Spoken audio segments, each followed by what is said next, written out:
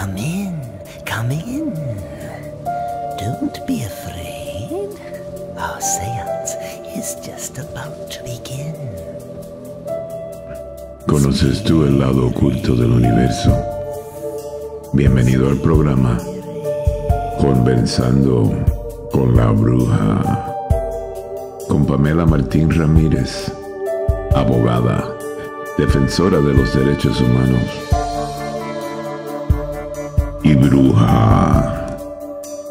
A través de Radio Pasión US, seduciendo tus sentidos.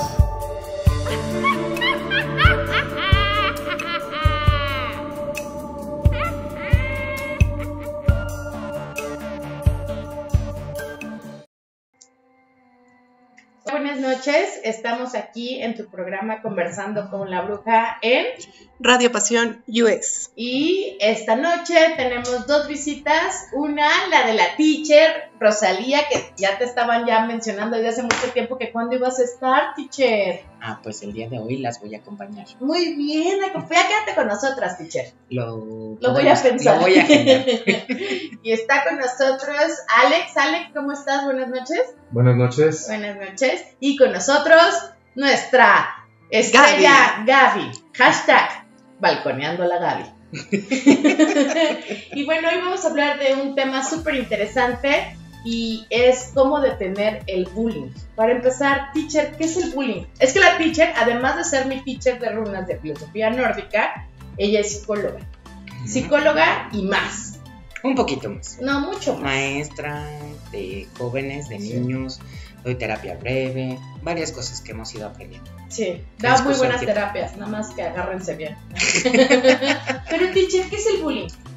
Pues mira, el bullying es un abuso continuo de circunstancias que generan y que se enfo- enfocan directamente en el miedo de una persona eh, que se siente superior por una serie de acciones que le han funcionado, que todas evocan desde el miedo a la agresión.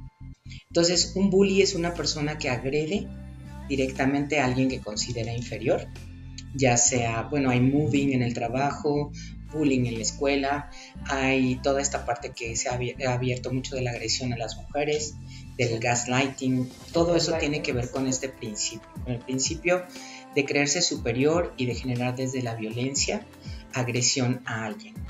Ok. Oye, y qué bueno que mencionaste el gaslighting, porque no todos saben lo que es el gaslighting. Eh, el gaslighting, ¿de dónde viene y qué es lo que nos... Qué, qué, ¿Cuál es la agresión del gaslighting? Bueno, el gaslighting se fundamenta en la misoginia. Es una forma en la que una persona a la que tú consideras que te ama, porque en realidad no te ama, te puede hacer desde su superioridad sentir que estás loca, que lo que estás diciendo no es verdadero y sobre todo agredirte directamente desde lo que tú estás sintiendo para poderte hacer que cambies y que consideres que todo lo que estás tú viviendo es falso.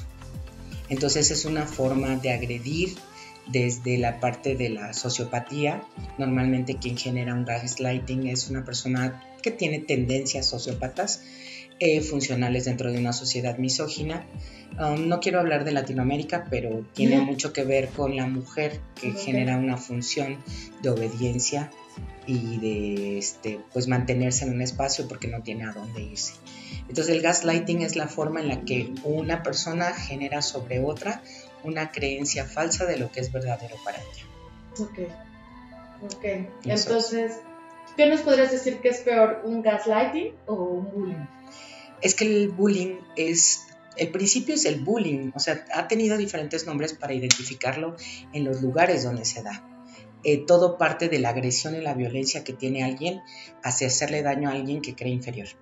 Entonces todo es bullying, se le ha llamado, y más que bullying es violencia. O sea, la, la parte importante del gaslighting, de la misoginia, del moving en el trabajo, del bullying en las escuelas, esta, es, esta parte de violencia eh, con poco control y con mucha agresión contenida en las personas que lo manifiestan o que lo hacen al otro.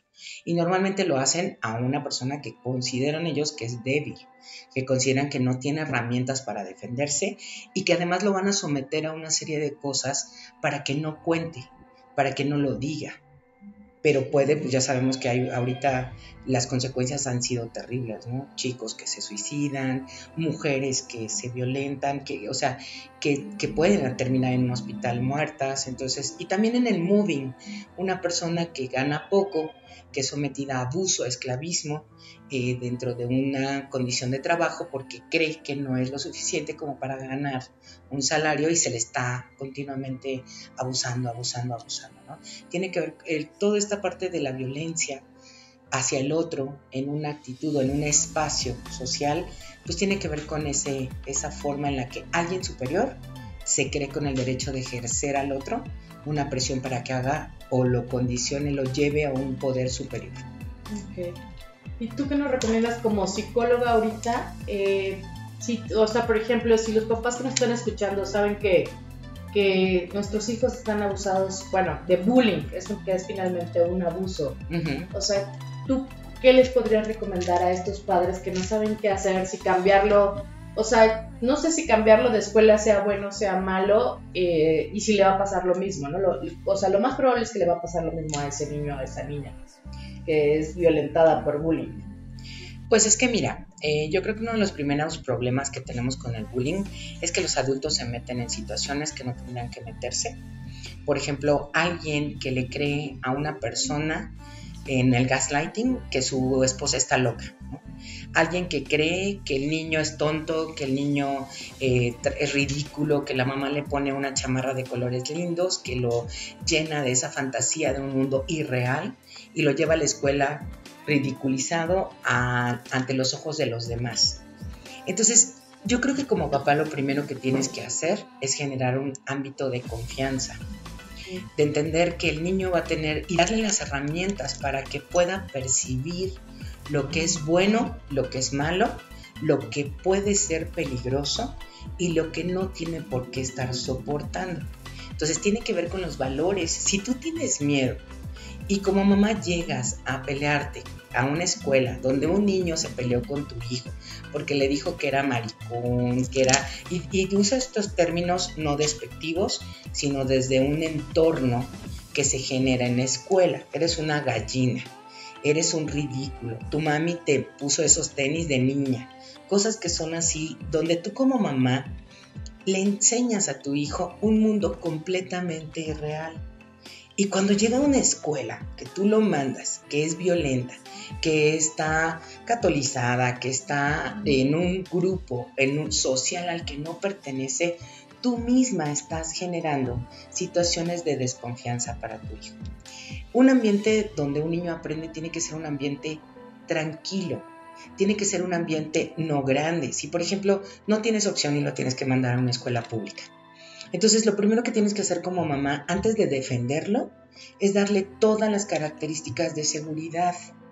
Ir a ver quiénes son sus, sus compañeritos, hablar con la maestra y decirle, oiga, mi hijo es medio tímido, este, no me gustaría que estuviera con personas que lo agredieran, eh, le pido por favor que cualquier situación que se genere me comente y decirle a tu hijo, tienes la libertad de cualquier cosa que no te guste, decir no y hacerte para atrás porque luego los metemos, tú tienes que ser valiente. No, es que nadie te puede ver la cara. Es que que nadie te quite tus cosas. Si tú llegas a un niño y le dices, es que que nadie te robe tus colores, va a empezar a cuidarse y a defenderse. ¿Cuál va a ser el olor que va a buscar un bully? Un bully? Alguien que tenga miedo.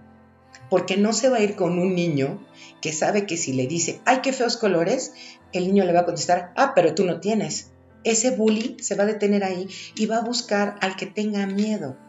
Entonces, si tú como mamá estás mandando a tu hijo con una serie de condiciones de miedo o de tú no te dejes, siempre va a haber alguien más fuerte que tu hijo en muchas cosas. La competencia, yo siempre he dicho, y bueno, el, todo lo que es esta parte de educación, la competencia genera violencia y seguimos en un ambiente, en un mundo donde nuestros hijos son calificados con un número.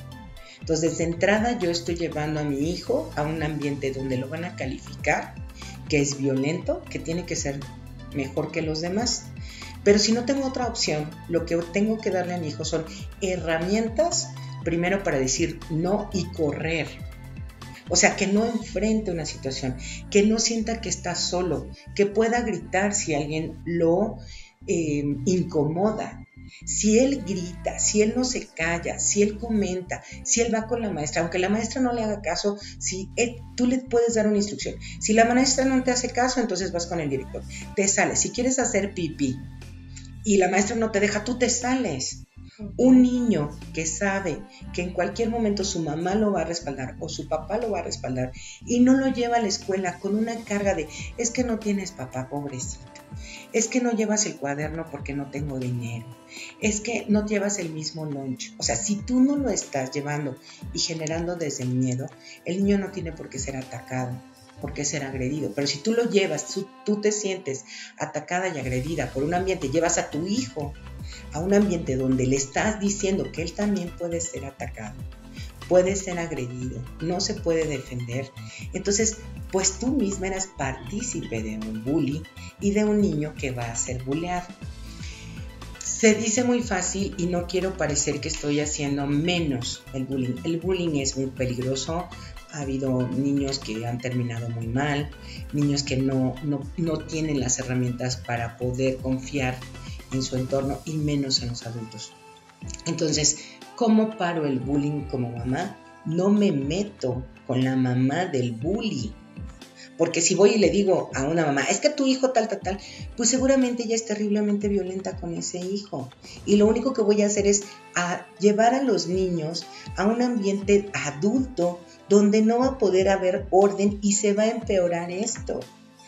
Yo les recomiendo que si ustedes no les está gustando lo que está pasando en la escuela, primero que nada, intervengan y vean qué está pasando. O sea, con todas las características, no desde, es que pobrecito de mi hijo, miren lo que le están haciendo. Ahí tú le estás quitando las herramientas de que el niño pueda defenderse. Anteriormente yo soy una generación donde me decían, si tú llegas golpeado, te voy a golpear peor. Y tu mamá te decía, donde te rompan el suéter, te quito tus domingos. Donde lo, te lo, pierdas. Donde pierdas el suéter. Entonces, tú le, tenías más, le tenías más miedo a tu mamá que al bullying. No, totalmente. Entonces, ya sabías que te iba a ir peor, pero tenías ese parámetro. Si ahora tu mamá es cobarde, tiene miedo de todo el entorno, si hay un papá que te pega, si hay una mamá que no te defiende, y llegas a la escuela, como es arriba, es abajo todo se va a volver un espejo. Entonces vas a vivir consecuencias del abuso que no te dieron herramientas para poder defenderte. Una de las herramientas para defenderte es confiar y correr. Confiar y correr. Confiar y correr. O sea, tú confías en lo que estás sintiendo que se está generando de peligro, corre. No enfrentes. Después ya de afuera, pues ves qué pasa, ¿no? Si tú te proteges y lo comentas y tienes un ámbito donde te van a creer, te vas a sentir seguro, van a intervenir a tiempo, te vas a poder hacer con otros compañeritos, te unificas y dices, es que ese niño pega, pues no te acerques al niño que pega. Es que ese niño es grosero, no te acerques al niño que es grosero. Te quita el lunch, pues entonces cuida tu lunch. ¿Me explico? Bueno, pero entonces le estás diciendo cuida tu lunch. Claro, porque desde lo que tú tienes, tú sabes que la primera parte de seguridad es tú no permitir que te abusen. Entonces, pero tampoco darle pie a una persona que es malvada. Tú le tienes que decir eso al niño, siempre. O sea, hay gente mala y hay gente buena. Cuídate, procura tu propia seguridad, porque yo te voy a creer yo, si pasa algo, yo te voy a defender, vamos a encontrar la forma en la que podemos hacerte sentir seguro. Porque eso de no te creo, de bueno, defiéndete, pues solo va a hacer y va a provocar mayor agresión en una gente que es agredida. Porque si tú te vas realmente psicológicamente y emocionalmente a ver al niño que es bulleado y al niño que es bully, y ves su entorno, el entorno del bully es totalmente agresivo. Y si tú nunca has sido violenta y agresiva con tu hijo y has sido permisiva y has sido esto, tu hijo no va a, no va a saber qué hacer, se va a asustar y el bully se alimenta del miedo. Se lo huele. Lo sabe que un niño débil, que un niño bonito, que un niño cuidado por su mamá, le genera una violencia terrible y lo va a atacar sea, va a ser como una presa. Entonces, tampoco tú como mamá no lo vas a llevar y no le vas a dar lo mejor a tu hijo, sino le vas a decir, sí, así, no le vas a decir, oye, no, mira, tú tampoco puedes permitir que una gente que es mala te esté molestando todo el día, ¿no?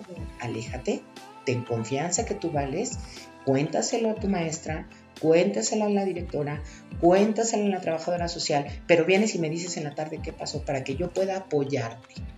No para que vaya a ser un lío en la escuela más grande. Porque seguramente voy a tener que cambiarlo de escuela. Y va a ser lo mismo si no resuelvo. Recuerden que si nosotros huimos de un problema y no le enseñamos a nuestros hijos a enfrentar los problemas, siempre van a tener que huir porque nosotros huimos. Entonces, porque los enseñamos a huir. Porque los enseñas a no enfrentar su propio valor. Sí va a haber momentos en el que él gane, en que se saque un 10, que se gane un premio, que genere envidia ante los demás y que diga, bueno, pues sí, pero que se sienta orgulloso sin caer en la parte de convertirse en un bully para poder agredir a otros, sino siempre desde esa empatía. Imagínate cómo se siente este niño que pega. ¿Tú qué crees que esté pasando en su casa? Aléjate, no te le acerques mucho porque agrede, es peligroso. Claro. Entonces desde ahí empezamos como a controlar más la gente que está cerca y siempre estar al pendiente, porque es bien fácil creer que en la escuela van a hacer algo o que si no están haciendo algo entonces yo intervenga. No, confío en todos los tres que son escuela, papás y niños. Entonces, si tú, si tú confías que todos pueden hacer lo mismo, inclusive se puede transformar a ese niño que se siente tan agredido en un niño que se sienta comprometido con la escuela con ayudar a sus compañeros.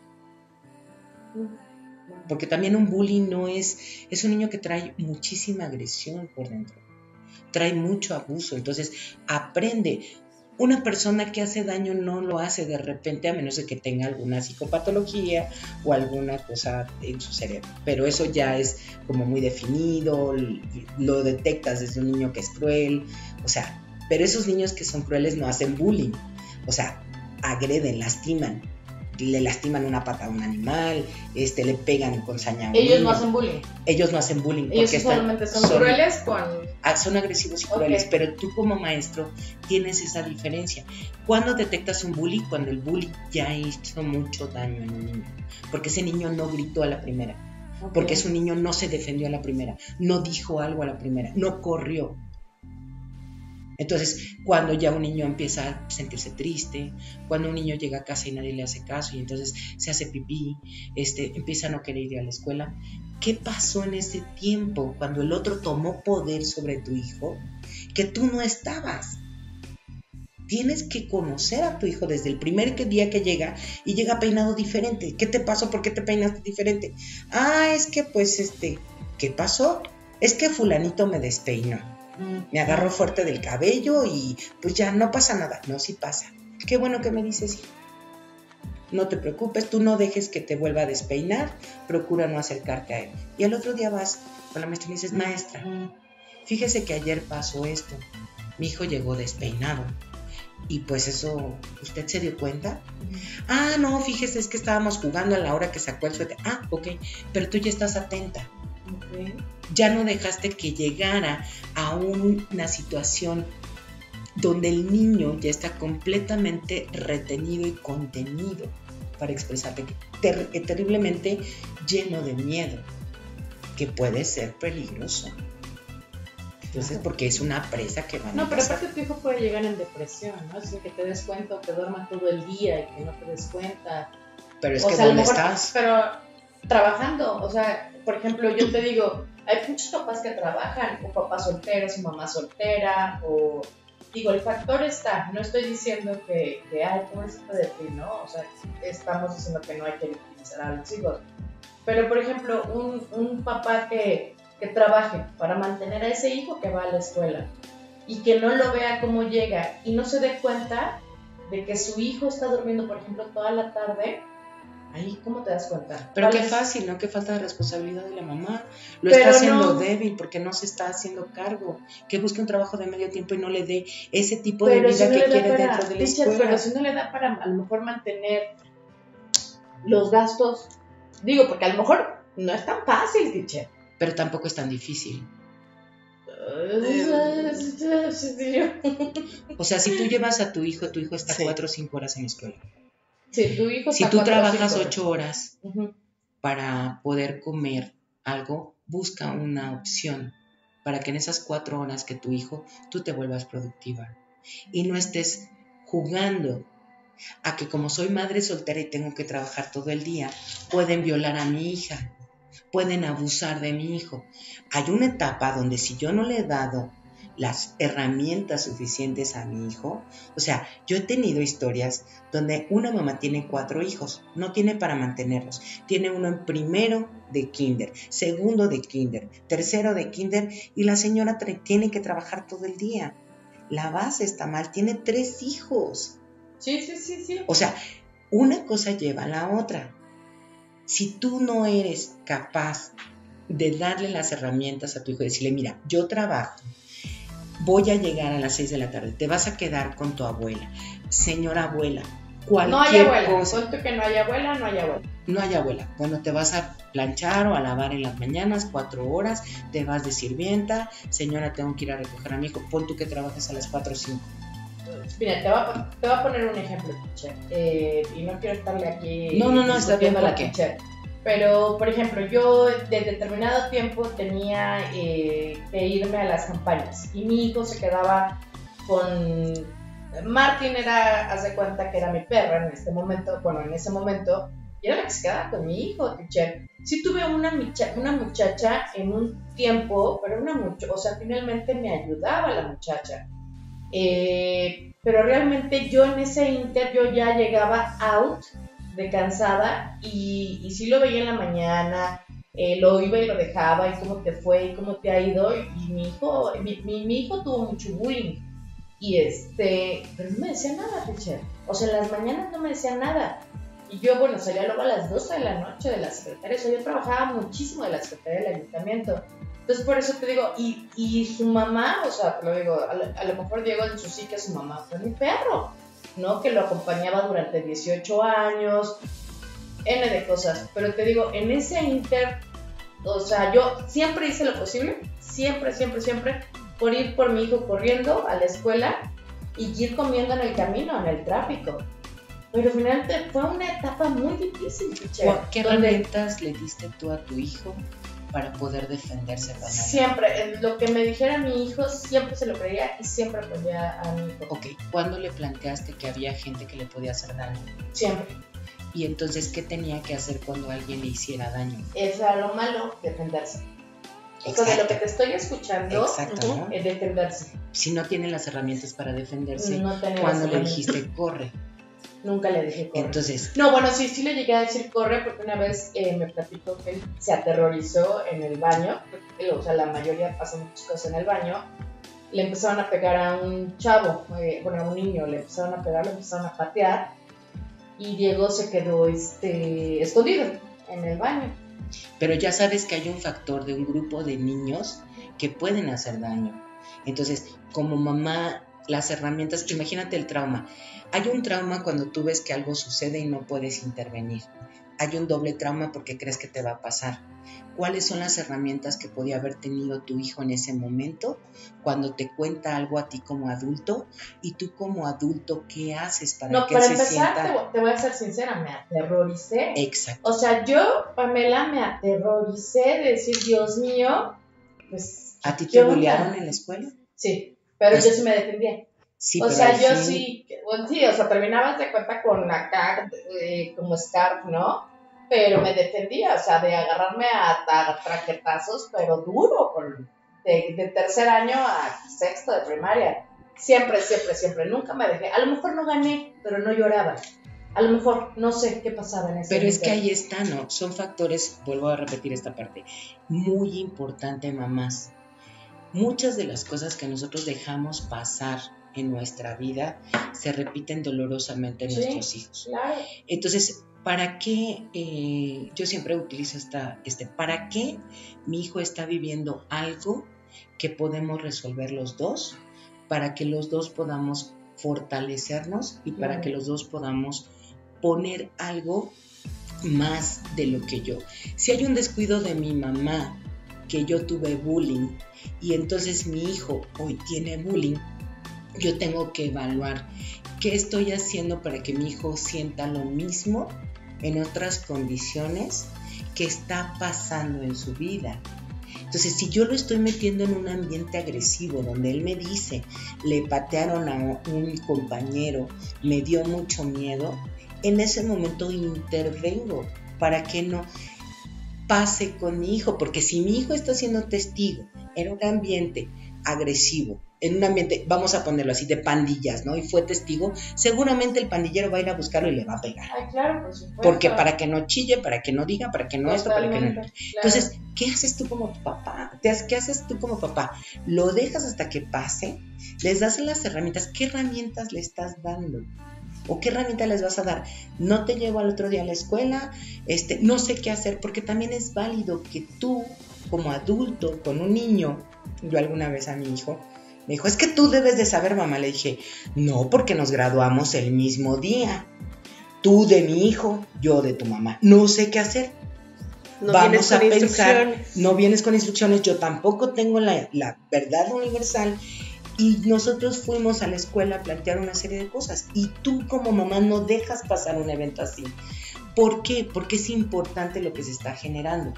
Tú vas, hablas con la maestra, maestra, oiga, mi hijo percibió esto, esto, esto y esto y esto, yo tengo mucho miedo de que le pase esto, esto a mi hijo, y entonces pongo más atención. Pongo más atención, aunque yo tenga que trabajar todo el día, los fines de semana observo a mi hijo. Claro. Eh, le pongo algunos, hay muchas cosas para detectar la depresión en un niño ahora. Pueden bajar el, eh, es un cuestionario que está en internet. Mi hijo está deprimido, hágale estas preguntas. Si tres de estas son positivas, su hijo está deprimido. Entonces, hay muchas herramientas, de veras, no se apaniquen, eh, comprendan que las situaciones que les presentan la vida con sus hijos son situaciones donde ustedes van a tener esa capacidad para poder ayudarlos de alguna manera. Si ustedes creen que no, que se aterran, que esto y el otro, busquen un apoyo, si no se los dan en la escuela, saquen a su hijo de la escuela.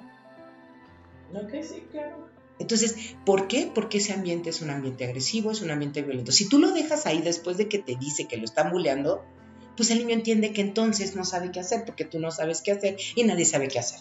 Fíjate que yo, ahí va otro ejemplo, porque yo digo, no, o sea, la a ustedes si les ocurren, por favor hablen, ¿eh? Yo le decía a mi hijo, le decía, te cambio de escuela, te cambiamos de escuela. No, Ay, Dios mío, para mí era súper frustrante esa parte. Porque para mí lo más fácil era cambiarlo de escuela. Pues digo, porque no nada más pasó eso. O sea, también le aventaron una vez la gorra al water. Y a mí, bueno, de verdad, o sea, yo me hacía la fuerte para no tirar la lágrima ahí, porque yo me quería comer. Pero ¿dónde están los papás de los que tú pagas una colegiatura? O sea, tú, o sea, no, sí, maestra, sí, una mamá que era una divina que hizo que el, el hijo pagara una gorra cara de sus ahorros y se la dio a Diego y le dijo... Imagínate lo que hiciste con el bully, por eso lo bullió después más. Sí, lo bullió después Por supuesto, porque... Yo no hice nada. O sea, sí, ahí va. O sea, fui y hablé con, o sea, hablé con la, con la maestra y la maestra mandó a llamar a los otros. Una Pero forma de aviso para buscar apoyo y el apoyo lo está buscando en sus papás. ¿Quién? El niño. Por eso, o sea, mi apoyo fue haber ido con la maestra. Ajá, pero desde la maestra le pides, o sea, si tú entiendes... Para empezar, era en, en, en, en clases este, extracurriculares. Ok, porque tú lo estabas dejando en esas clases extracurriculares para que estuviera más tiempo en la escuela. Eh, sí, para, que no, para que tomara tareas, porque ves que hay un nivel que en Speaking in English que ya es, que ni los números me los sé en español. Pero ¿dónde está la maestra? Tú no vas a pedirle a la maestra que solucione un problema, le vas a pedir a la maestra que visualice no, le fui el a riesgo. Decir lo que había pasado. Por eso. Le fui a dar el, el Que le habían quitado la gorra, ¿no? Entonces la maestra dice, pues que le paguen la gorra. No. No, la maestra no dijo eso. Le comenta a los papás y una mamá dice, ok, para ella lo correcto fue que se le repusiera la gorra, que hablar, que le pidiera disculpas. El Imagínate. El niño pero es que, por, o sea, por eso es a lo que te digo, o sea, finalmente nadie está con un, con un, ¿qué es lo que voy a hacer? O sea, con un ABC. Ahora ya, eh, Ahora yo te pregunto por, por, por si alguien que nos está escuchando pasa lo mismo y decir, bueno, a ver, ok. Le pido de favor que no... Son, si, un si un niño está respondiendo con una mamá bien linda que le va a comprar la gorra, no le crean, la mamá es abusiva. ¿Sí? Por eso tiene un bullying en casa. No consideren que esa mujer o ese hombre va a poder resolver desde la humillación continua a un hijo que le dice, pues ahora le pides disculpas. Si y le pagas la gorra. Y le pagas la gorra, lo único que va a responder ese niño es hacer algo a escondidas para agredir a tu hijo. Bueno, entonces el niño ya está medio mal del chip, el No, otro. no es el niño, son ¿Por los qué? papás de ese niño que lo humillan constantemente. Pero, ¿de qué manera le estás diciendo a tu hijo, no te acerques a ello? La solución no es enfrentar al bully. La situación es proteger a mi hijo. ¿Cómo protejo a mi hijo? Maestra no está haciendo su chamba. No me importa lo que vuelva a pasar. Si a mi hijo, Juanito, Pedrito, Chanito, le quita una gorra, voy a demandar a la escuela. Porque usted no está haciendo su chamba. Yo no voy. Es que mire, fulanito de tal. No, o sea, fueron las herramientas que tú tuviste, están correctas. O Ujú. sea, si él no haya hecho, nada más cuide que ese niño enojado, humillado por unos papás Maltratado. perfectos, No, el lindos. niño no era maltratado. No Entonces, sabemos. No lo sabes porque si pega es porque hay es situaciones que va a desquitarse. No pegaba, era abusivo. No Pues es pegaba, lo mismo. era abusivo. Bueno, era. No pegaba físicamente, pero Es pegaba con formas. Yo, de verdad, o sea, yo observé a varios niños, bueno, y entre de ellos uno que le mando un fuerte abrazo a Diego Torres. Diego Torres, o sea, veía a mi hijo y le pegaba, ¿no? Entonces yo iba con. eh, mi amiga era Janet. Yo le decía, oye, Janet, ya. O sea, es como, como tú, yo, oye, ya, ya te digo que no manches, ¿no? Pero estaban en el kinder. Imagínate. Pero si el niño traía un TDA. o- pero- Antes no había TDAH, TDM, TDFs. O sea, H, hijo, ajá. si un niño tiene un TDAH, un. TDM, la responsabilidad de los, de los papás es medicarlo de manera adecuada para que los papás puedan, Primero para que los que maestros puedan, para que los maestros puedan darle la atención Claro. que requiere. Porque si una maestra le pone más atención a un niño con TDAH, todo su grupo se va a comportar como ese niño al que la maestra le está poniendo más atención. Y vas a tener un grupo caótico, lo sabemos los maestros. O sea, por eso si tienes un niño con Asperger, le tienes que decir al papá, oiga, cuáles son los límites, cuáles son las reacciones que tiene, lo sabes, le pones ejercicios a ese niño para que no se mantenga sin hacer nada en una situación de continuo estrés. Si tienes un niño que tiene TDAH con actitud desafiante, pues tiene que tener un medicamento para que no te esté desafiando en el salón. Porque entonces te va a generar una serie de cosas. Pero aquí lo importante es, yo siempre he dicho que una mamá que se relaciona, interviene con las mamás, no está dejando y paga por una colegiatura, está quitándole la responsabilidad completa a una escuela que tiene que tener un control sobre los alumnos, que no está teniendo ese control y que además está enfocando el control hacia cómo son los papás, cuando en realidad tú conoces a los papás a través de sus hijos. Te pueden decir, ay, es que no lo puedo controlar, ¿no? Pues son papás permisivos, que no les importa el hijo, que no lo aman porque no le ponen límites, que son así como que, ay, pues es que no lo puedo controlar. Tu obligación como papá es controlar a un niño. Tu obligación como papá es darle todas las herramientas para que un niño esté activo. Cuando, si tú le das un celular y lo mantienes así hasta las 10 de la noche, el niño va a ser hiperactivo, va a tener un TDAH, va a ser violento, va a ser agresivo, va a estar buscando cosas que hacer que no estén dentro de sus niveles de educación. Si tú tratas a un niño, lo hipersexualizas, dices, ah, tienes novia, ahí tienes esto, tú, todas tus características de adulto las estás vaciando en un niño. Un niño que va a llegar a darle un beso a una niña porque su mamá le dijo que ya era, que si era su novia. Un niño que va a pegar porque su papá le pega a su mamá con la palabra. La mamá le pega al papá con la palabra. Le dice que es un inútil. Y ella le dice que esto y lo otro. Va a llegar a pegarle a un niño y le va a decir que es un inútil. Va a ver que su poder de miedo hace que el otro se haga chiquito y entonces va a identificarse como sus papás va a decir, si puedo lastimar a alguien. Porque mi mamá lastima a mi papá. Porque mi papá lastima a mi mamá. Entonces, no crean que si unos papás de un bullying les dice, oye, es que no, no, no, yo te voy a hacer para que no tenga problemas que te pague la gorra, que te pida disculpas, solo estás incrementando la violencia de un niño que es violentado por unos papás que lo llevan a ser un bully, así como tus miedos llevan a tu hijo a engancharse con un bully. ¿Qué tienes que hacer? Junto con tu hijo reconocer tus miedos, fortalecer tus herramientas de defensa, tus herramientas de precaución y poderle darle las herramientas del niño de corre, avísame, corre con tu maestra. Si el niño llega y le dice, oiga maestra, es que le estaban pegando a, Pablito en el baño y lo estaban pateando. Pablito bonito. lo estaban pateando, seguramente que la maestra que va a decir, ¿quién estaba pateando? ¿Dónde estaban? ¿Qué hacen esos niños en el baño sin supervisión? En estos días, nadie va al baño sin supervisión. Y no nada más por bullying, por abuso, por violación, porque no sabes quién se mete. Hay cámaras, o sea, hay muchas cosas que la escuela se tiene que hacer. hay cámaras en eso, y, miren que era también de la que ibas tú, ¿eh? O sea, de los... Estos... Eran otras Legionarios de Cristo. No, no, no son legionarios, son los lazaristas. ¿Son legionarios ellos? Sí, Cristóbal Colón. ¿Pero no son legionarios? No, se lasallistas. Son lasallistas, sí, pero, pero, del padre, sí. Pero tú pagas una colegiatura. No, y pagas una buena colegiatura. Y esa colegiatura te tiene que garantizar la seguridad de tu hijo. Bueno, aquí, por ejemplo, este, ya que mencionaste lo de Cristóbal Colón, ahí cabe mencionar que, por ejemplo, el padre Maciel, sabemos perfectamente bien eh, toda la trascendencia e historia que tiene el padre Maciel. A raíz de eso, eh, se puede decir que sí se veía mucho la agresión y el bullying, como lo estamos mencionando ahorita, hacia los estudiantes desde los maestros hacia los, hacia, los, hacia los niños, hacia los estudiantes mismos. No por las este, trascendencias que estás mencionando tú, este, Rosalía, pero sí, efectivamente, o sea, ya en la misma escuela ya percibías el olor a miedo y de la agresión que se estaba percibiendo en la escuela.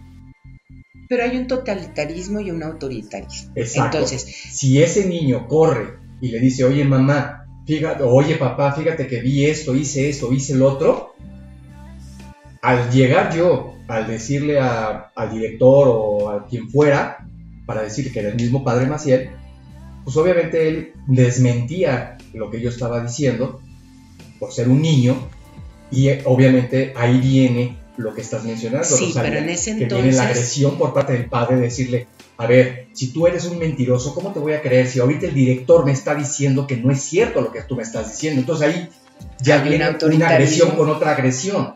Entonces yo ya quedo como mentiroso, ya es lo otro, entonces ya no me dan las fuerzas ni las armas para poder yo decir ni la confianza. Ni la confianza. No, ni volver a decir que no te está Por supuesto que no. entonces me quedo callado y ya no digo nada. Y me junto con los que van a bullear para yo bullear. Esa es, una de las gestaciones de la agresión, la, la guerra, pero es muy importante que en este parámetro que estamos hablando, en donde eso ya no es bullying, lo que estás hablando ya no es bullying, es un, un autoritarismo y un, sobre todo porque antes llevabas a los niños para que recibieran una educación. A mí una maestra me jaló el cabello y me dejaron tres horas parada con dos libros hasta que me desmayé. Oye, pero te jaló el cabello así bien. Sí, me jaló, me levantó. ¿Por qué? Porque yo estaba portándome mal y antes te educaban así. Exacto. Entonces, y entonces la instrucción era correcta. Si te dejas, cierto punto. si te dejas y chillas, aquí vas a chillar más. Exacto. O sea, ahí sí era una instrucción adecuada. Y los que éramos fuertes, yo era chaparra. Entonces, todo mundo me decía chaparra. Entonces, al primero que a la primera, porque yo iba en una escuela de mujeres, que me dijo chaparra, le tumbé un diente. Mi mamá tuvo que pagar por el diente. Y esa chica nunca más me volvió, a, me volvió a decir chaparra. Porque además, si me volvía a golpear, ya sabía que yo pegaba. Pero ahí había una, un permiso permitido de hacerte fuerte o hacerte débil. Y entonces, normalmente los niños que eran becados eran los débiles y se les trataba pues de alguna manera para que fueran a hacer copias, para que fueran a traerle el café. Era otro sistema.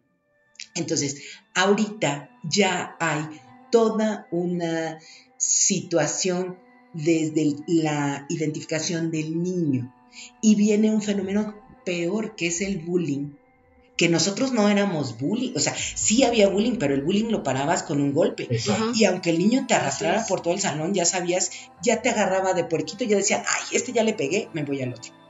Entonces, pero había una condición de la Pero, casa, pero, pero, pero ¿en qué edad no había bullying? Porque yo me acuerdo en la mía sí había bullying. pero no se llamaba bullying. No se llamaba bullying. No, había No un se llamaba, pero social estaba ahí. de un bully- de un niño que Novatada, se se alimente, novatada. se- Pero era bullying, ¿no? Finalmente. Sí, claro. No. Me Era. dejaba medio güey. O sea, hay cosas que a mí me siguen lastimando que hicieron hace mucho tiempo. Pues sí, pero te las callabas porque la sociedad así lo mantenía. Hoy por hoy, la pregunta tuya fue, ¿qué hago si un niño en una escuela donde yo pago una colegiatura, hoy por hoy lo están bulleando? Para empezar, ya no va a haber No, novatadas. que no pagues colegiatura. para o sea, empezar, porque tú denuncias, ¿no? Y sea denuncias denuncia por violencia, por, Por agresión, por lo que ¿no? sea. agresión, por lo que sea. Y si te metes en. ¿no? Si tu Sí, aunque hijo, sea de gobierno también Sí, lo, sí, lo- claro. tu hijo lo pueden juzgar si fue, si se juntó con cuatro niños, entonces lo pueden, o sea, ya lo pueden juzgar en muchos Mm. lugares de diferentes Hoy maneras, por hoy sí. o por lo menos como papá ya tienes otras herramientas. Pero el bullying ahora es un concepto donde los papás se quitan de la responsabilidad de hacerse cargo. Yo me acuerdo que antes llegabas con el suéter roto y tu mamá se daba cuenta. Tú llegabas despeinado y tu mamá se daba cuenta. Porque había esa imagen de una madre o de una muchacha que le contaba a tu papá o a tu mamá cuando llegaban en la noche. Los roles que ahora nos generan culpabilidad como papás desde la educación. La falta de defensa de nosotros en un ambiente agresivo en una casa. El reflejo de abuso con la sonrisa de todo está perfecto. Claro. Entonces, mi hijo es maravilloso y por atrás está robándose un coche, se está drogando, Está matando. está matando, está agrediendo pajaritos y están haciendo mil cosas. O sea, todo eso la sociedad ahora ya es más testigo de lo que pasa y entonces ya entiende que hay cosas que no están bien. Si tú le das las herramientas ahorita a un niño que continuamente le están pegando, no necesariamente tiene que ser un bully de que le esté pegando. A lo mejor es un niño que algo está pasando en su casa, pero ¿qué tienes que hacer como papá y como mamá si pagas una colegiatura? Pedirle a la escuela la que se someta y que vea qué está pasando y que te resuelva mañana. Porque si no, tú armas un lío. Tú, no para los papás de ese niño, sino para la escuela que tú estás pagando una seguridad. Entonces, si tú llegas con una maestra y le No, dices, bueno, pero aunque estés pagando o no estés pagando, tú debes de hacer algo como papá. O sea, sea el gobierno, sea particular. darle las herramientas así, de claro, seguridad, claro, de confianza, de que si pasa algo te espere despierto, a la hora que tú llegues lo vas a escuchar. Tiene que haber Que- comunicación entre, que no pase Entre los Niños y los papás, claro. Que no se quede dormido. no, no, no, está divertido, o sea, te lo juro, ya, ya cuando lo vives en carne propia, o sea, te lo juro que lo que primero que quería hacer es quitarte los zapatos Y se los y avientas. Ni cepillo, sí, no, ya ni cepillarte los dientes, irte a dormir. De verdad, o sea, eh, digo, en este inter, ¿no? Yo ahorita tengo todo el tiempo del mundo, pero mi hijo ya tiene 20 años, pero ya son ciclos diferentes. Pero te estoy diciendo cuando mi hijo sufrió bullying, en donde yo verdaderamente tenía muchísimo trabajo. Y fue en una época, fue la secundaria, que fue una, es la transición de la primaria a la secundaria, una de, los, de las transiciones más difíciles. Sí, mira, comprendo que todo ha venido en este momento a fundamentarse en una serie de derechos humanos, en una serie, la situación social ha avanzado. Yo como psicóloga social te digo que en realidad, gracias por estos términos que se han dado, el gaslighting antes no se hablaba de ello, no se hablaba de la misoginia como misoginia, no se hablaba de un moving to, si decías, es que no me pagaron esto y me tienen trabajando tres horas, no te podías ir a quejar. Tenemos que tener confianza que las cosas han cambiado. Desafortunadamente para ti en una época muy difícil y muy complicada no pudiste solucionarlo, la escuela no te lo solucionó de la manera adecuada, no tenías las herramientas Para poder hacerlo. Pero hoy por hoy yo, te yo les pido a las personas que están escuchando que pueden estar pasando por esta situación, el bully se para cuidando la integridad de un niño, se para dándole las herramientas y dándole comunicación, apoyo, no dejando sin ver, porque a veces los papás nos pasa eso, ¿no? Creemos que estamos solos en un ambiente. Ahora yo, hay mamás que se dedican, la mamá que no trabaja pasa por los niños, les da, de- o sea, ya hay grupos de comunicación, de WhatsApp, de yo paso por tu hijo, tú y esto y el otro, yo estoy trabajando, tú te traes esto, tú, o sea, ya, si tú estableces una comunicación sana, el niño va a tener una red de amistades sanas. Si tú en vez de estar tomando el café, jajaja, ju, ju, ju, y tus hijos trepados arriba con la puerta cerrada, haciendo no sabes qué, te pones, de, te toca, ve a ver, ya llevan cinco minutos encerrados, vete a dar una vuelta, ahora yo voy, ahora tú vas. La confianza tiene que ver con lo que tú logres para asegurar la vida, el bienestar, la comunicación con tus hijos. Entonces, tratar de trabajar que nuestros hijos no carguen con nuestras situaciones de culpa, de miedo, de agresión, de violencia. La violencia pasiva es terrible. También el quedarse callado es violencia. Decir, no, mejor ni me meto, porque mi mamá nunca se mete. Callado, Entonces, no digo nada. Y la, la Me evito instrucción, problemas. la, Exacto. instruc- la instrucción de los papás es, tú ni te metas. Si ves que le pegan a alguien, tú ni te metas. No es tu Ah, problema, no te ajá, No metas. es Sí. tu problema, no te metas. Sí, por ejemplo, a mí, en, a mí en mi época, cuando yo iba al kinder, mi papá me decía, tienes prohibido pegar, pero también tienes prohibido dejarte. Claro. Sí, pero tiene que ver con el tamaño que tienes, con que traes unos zapatos alineados a los niños de los demás.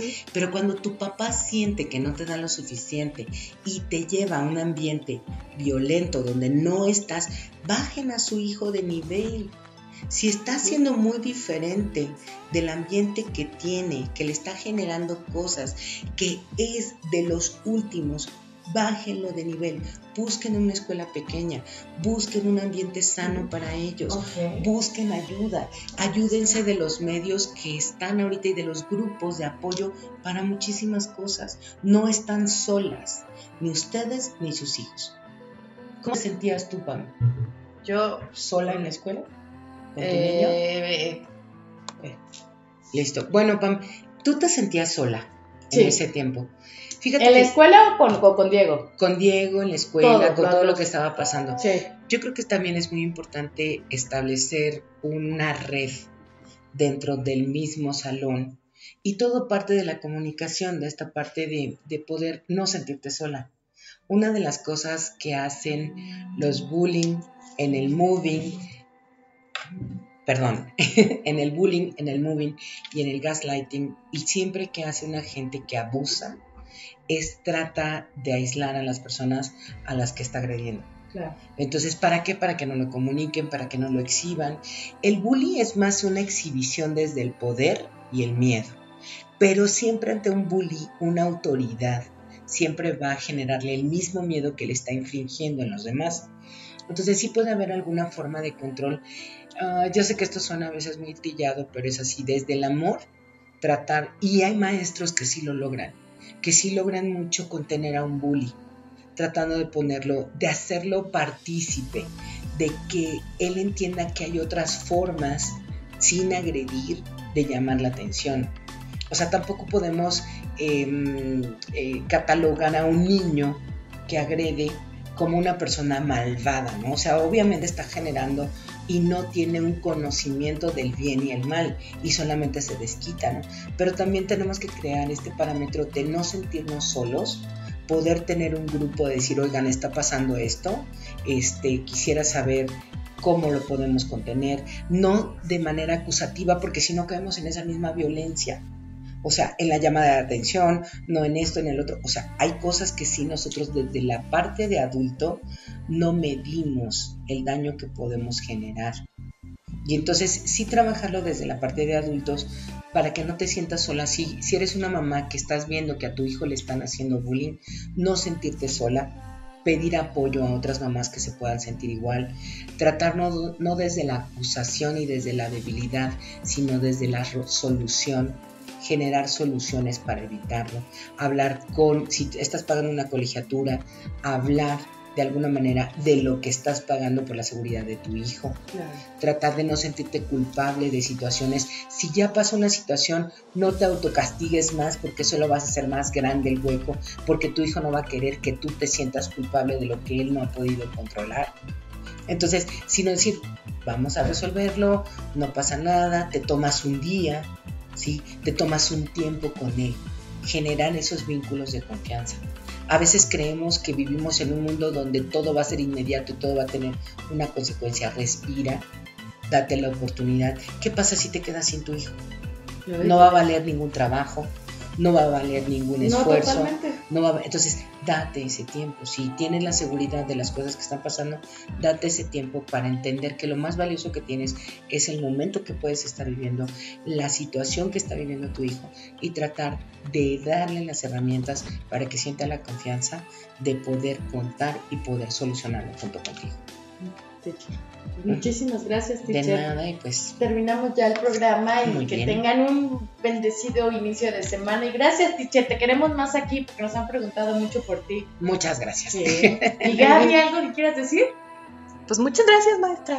muchas gracias, teacher. Teacher. Mis maestras. Mis teacher. Todo. Gracias, teacher. Amamos a la teacher. Teacher, ¿dónde te podemos localizar? Por si alguien quiere tomar una terapia psicológica.